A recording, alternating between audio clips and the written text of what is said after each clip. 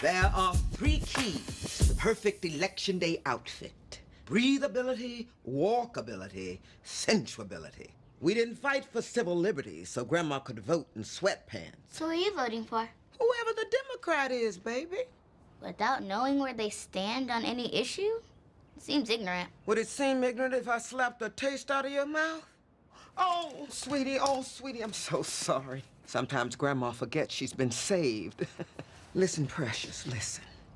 Ignorance is being unaware of the dangers of the kitten hill. So I just have to answer a few questions? Yep.